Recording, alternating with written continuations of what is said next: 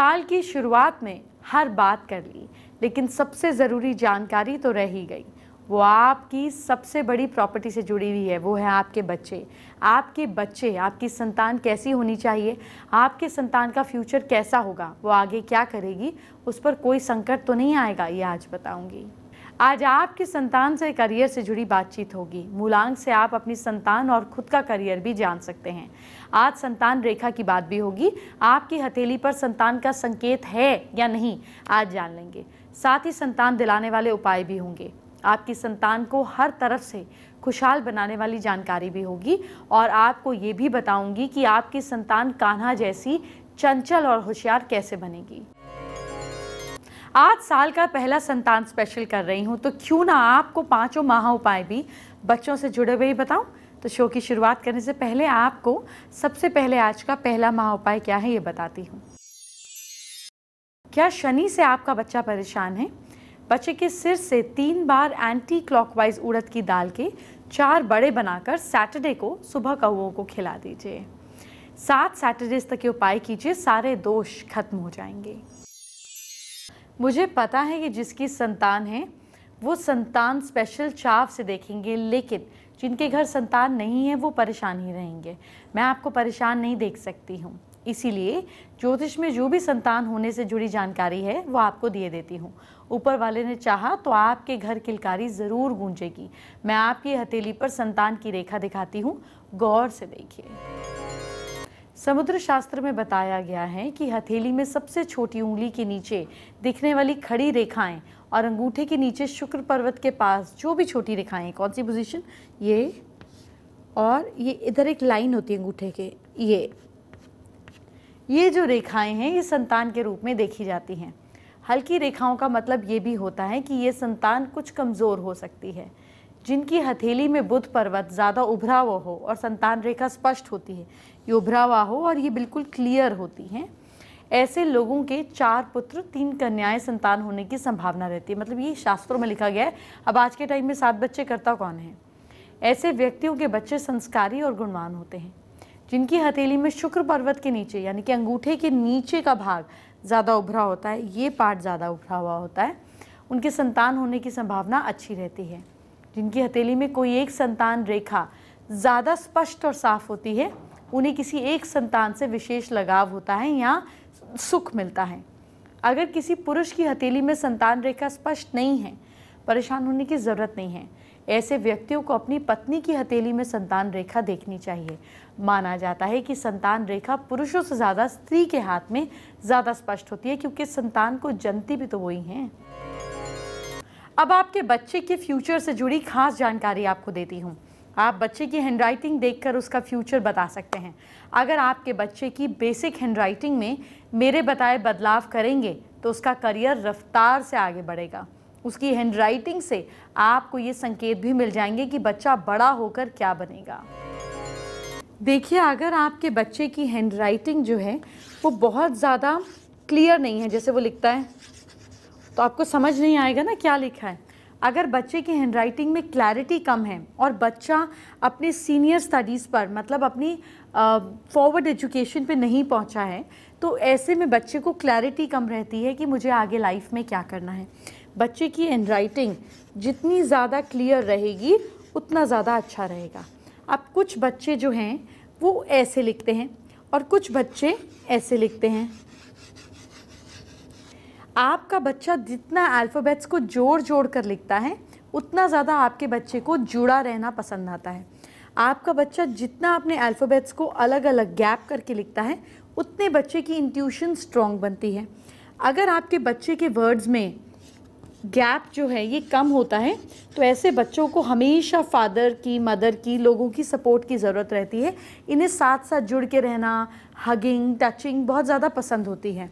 और जो बच्चे अपने दो वर्ड्स के बीच में इतना गैप रखते हैं कि एक अल्फ़ाबेट और आ जाए। मतलब गैप जो है, वो मीडियम या उससे थोड़ा ज़्यादा होता है। ऐसे बच्चों को अपनी स्पेस चाहिए। इन्हें अकेले में पढ़ना है बेडरूम में बैठना है, अपने गाने अकेले सुनने हैं। इन्हें अपनी स्पेस भी बहुत ज़्यादा पसंद होती है। जिन बच्चों की हैंड राइटिंग बार बार बदलती रहती है, ऐसे बच्चों का माइंड जो है पूरी तरह से स्टेबल नहीं हो पाता। अगर आपका बच्चा अपने आई के ऊपर डॉट गोल बनाता है तो ऐसे बच्चे बहुत ज़्यादा इमोशनल होते हैं। अगर डॉट जो है ये आगे की तरफ़ होती है, ऐसे बच्चे फ्यूचर के बारे में बहुत ज़्यादा सोचते हैं।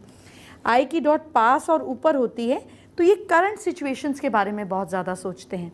और अगर आई की डॉट इस तरह से हो जाती है तो ऐसे बच्चे जल्दी इरिटेट हो जाते हैं। और अगर आई की डॉट ही नहीं होती है देर इज़ नो डॉट कुछ नहीं होता तो ऐसे बच्चों की लाइफ में गोल मिसिंग होता है। प्लीज़ चेक आपके बच्चे की हैंडराइटिंग क्या कहती है। अब हम जानेंगे बच्चों से जुड़ा हुआ आज का दूसरा महा उपाय क्या है। सवाल ये है कि क्या आपके बच्चे को नज़र लग गई है? नमक, राई, प्याज के छिलके, साबुत लाल मिर्च और लहसुन लेकर अंगारे पर डाल दें। आपके बच्चे को लगी नज़र दूर होने लगेगी। बच्चे की ऐसी किलकारी दुनिया में सबसे ज़्यादा खुशी देती है। मैं ये नहीं चाहती कि आपके बच्चे तंदुरुस्त हों सक्सेसफुल बने, आगे जाएँ। लेकिन मुझे पता है कि जिस घर में बेबी नहीं होते, वहाँ कितनी दिक्कत होती है। संतान ना होना या संतान में देरी, कितने सवाल मेरे पास रोज़ आते हैं। ईमेल तो इतने इमोशनल होते हैं कि आपको क्या बताऊँ। देखिए, संतान क्यों नहीं हो रही, इसके लिए डॉक्टर की सलाह ज़रूर लीजिए। लेकिन आप साथ में कुछ अचूक उपाय कर सकते हैं। संतान प्राप्ति के अचूक उपाय जानिए। संतान प्राप्ति के लिए पति पत्नी दोनों को किसी ज्योतिर्लिंग की यात्रा करनी चाहिए और वहाँ सर्प पूजन करवाना चाहिए। इस काम को करने से संतान दोष समाप्त होता है। संतान होने में बाधा आ रही हो तो लाल गाय और बछड़े की सेवा करनी चाहिए। लाल या ब्राउन डॉग पालना भी शुभ रहता है। अगर शादी में 10 या 12 वर्ष बाद भी संतान ना हो तो मदार की जड़ को शुक्रवार को उखाड़ लें। उसे कमर में बांधने से संतान योग बनते हैं। जब गर्भ धारण हो गया तो चांदी की एक बांसुरी बनाकर राधा कृष्ण के मंदिर में पति पत्नी दोनों थर्सडे के दिन चढ़ाएँ तो संतान के आने का दरवाज़ा खुलने लगता है।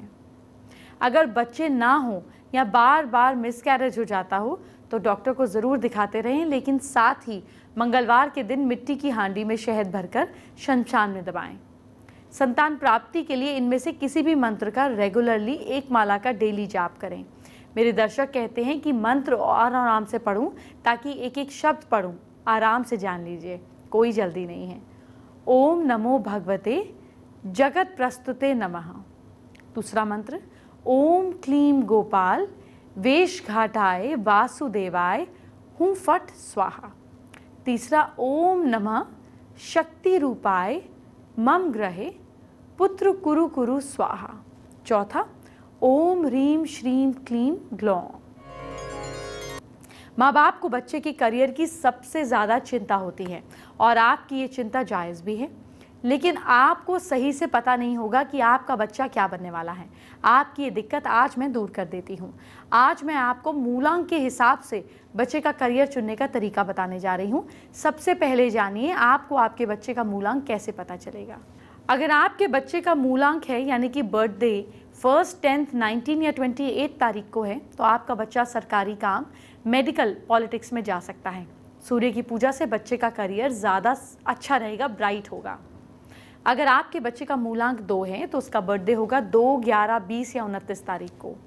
आपका बच्चा art film medical navy teaching या होटल लाइन में सफलता प्राप्त करेगा।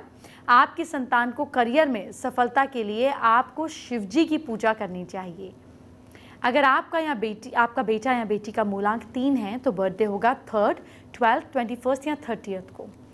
ऐसे केस में आपका बेटा या बेटी एजुकेशन धर्म, कानून, वकील या जज में सफलता प्राप्त कर सकता है। आपके बच्चे को करियर में सफलता के लिए श्री हरि विष्णु जी की पूजा करनी चाहिए। अगर आपके बच्चे का मूलांक चार है तो बर्थडे होगा फोर्थ थर्टीनथ ट्वेंटी सेकेंड या thirty first of any month ऐसी स्थिति में आपका बच्चा कंप्यूटर, इलेक्ट्रिकल, इलेक्ट्रॉनिक्स, ज्योतिष और मार्केटिंग की फ़ील्ड में अच्छा कर सकता है। लेकिन बच्चे को लगातार शिवजी की उपासना करनी होगी। अब बात उनके बच्चों की करते हैं, जिनका मूलांक है पाँच। मतलब बर्थडे पाँच, चौदह या तेईस तारीख को होता है। ऐसे बच्चे बैंकिंग, फाइनेंस, मार्केटिंग, कॉमर्स में बहुत आगे जाते हैं, लेकिन आप इन्हें गणपति जी की आराधना ज़रूर कराएँ। अभी तो मैंने सिर्फ़ पाँच मूलांक तक की बात करी है। छः सात, आठ, नौ मूलांक वाले बच्चों का करियर बताना बाकी है। आगे बताऊँगी इसी शो पर कुछ देर बाद, लेकिन अभी एक और ख़ास बात। आज का तीसरा महाउपाय क्या है, अब ये जान लेते हैं। सवाल ये है कि क्या बच्चे को पढ़ाई में अच्छे नंबर नहीं मिलते हैं? किसी जो बच्चा चल फिर नहीं पाता या हैंडीकैप है, दिव्यांग बच्चे, लड़के या लड़की को अपना बच्चा मानते हुए, अपना बेटा या बेटी मानते हुए बुक्स का दान करें फ़ीस भरें, जो आप कर सकते हैं, कपड़े फ़ीस जो भी आप दे सकते हैं, उसकी देकर मदद करें। आपके बच्चे को इसका फ़ायदा मिलेगा। आपके संतान का भला तब होगा जब उसकी नौकरी लगेगी और अच्छी नौकरी लगेगी। लेकिन ये कैसे होगा? आपको कुछ उपाय करने होंगे। वो कौन से हैं? आइए जानते हैं। अगर स्टडी रूम सही डायरेक्शन में हो तो इससे बच्चे की पढ़ाई पर भी असर पड़ता है। वो जितनी चाहे मेहनत कर ले, लेकिन वास्तु दोष की वजह से मेहनत के जितने नतीजे नहीं मिलते हैं, वो आपको अटकाते हैं। इसीलिए बच्चे के पढ़ने के लिए स्टडी रूम की दिशा का बहुत ध्यान रखना चाहिए। बच्चों को पढ़ने का कमरा नॉर्थ ईस्ट या नॉर्थ ईस्ट दिशा में रखना चाहिए। पढ़ाई करते समय चेहरा पूर्व या उत्तर दिशा की ओर रहना चाहिए। वॉशरूम के पास पढ़ने का कमरा कभी भी नहीं होना चाहिए। पढ़ाई के लिए कमरे में किताबों का राय की अलमारी ईस्ट या नॉर्थ की डायरेक्शन में होनी चाहिए?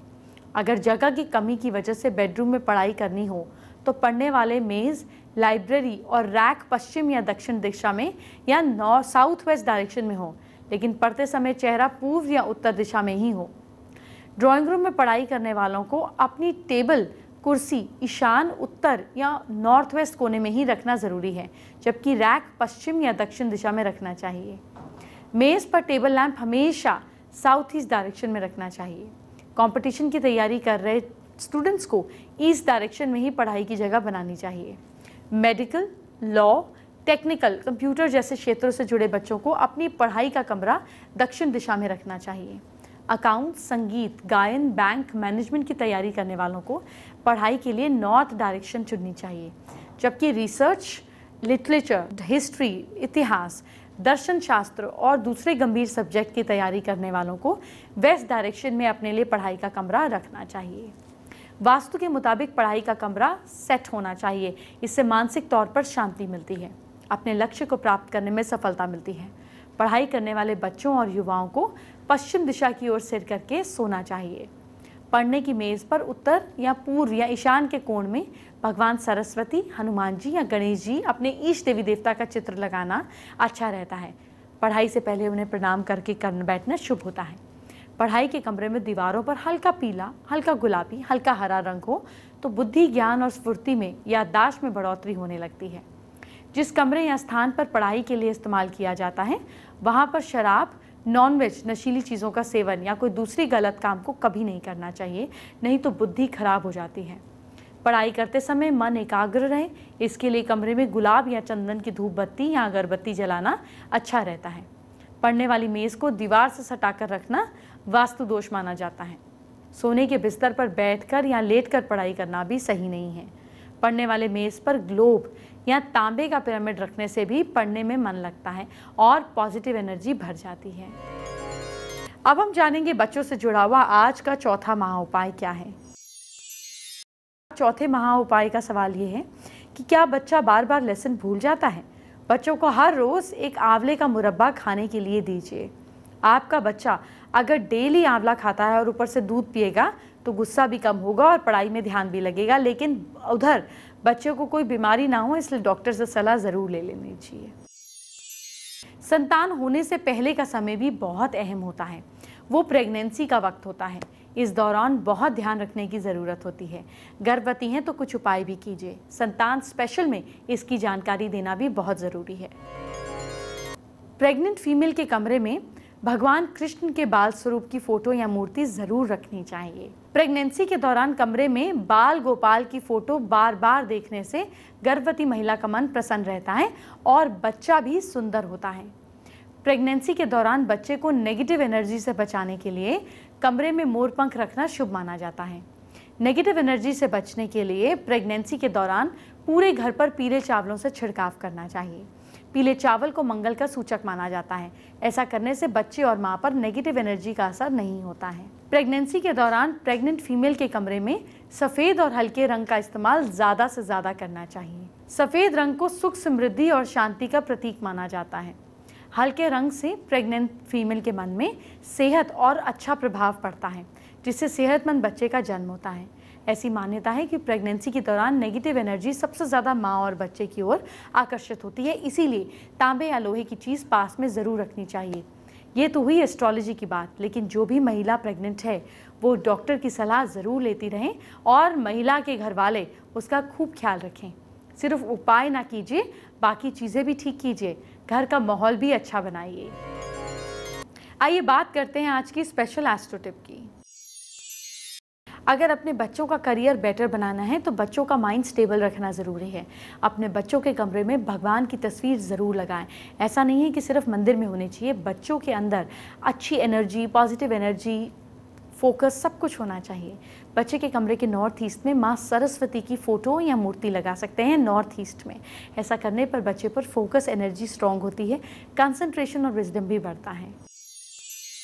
फेसबुक पर रश्मील सिंह ने हमारे साथ अपनी प्रॉब्लम शेयर की है। बेसिकली रश्मील का मन स्टडीज़ में नहीं लगता, जिसकी वो उपाय जानना चाहती हैं। आज तो सारा टॉपिक ही पढ़ाई से रिलेटेड था और मैंने आपको एस्ट्रो टिप भी वैसे दी। फिर भी अगर आपका स्पेशली पढ़ाई में मन नहीं लगता तो अपने राइट हैंड की लिटिल फिंगर में चांदी का बिना किसी जोड़ के छल्ला पहन दीजिए। आपको आराम आएगा। एंटरटेनमेंट की बात हम बाद में करेंगे। पहले आपके कल फ्यूचर की बात करते हैं।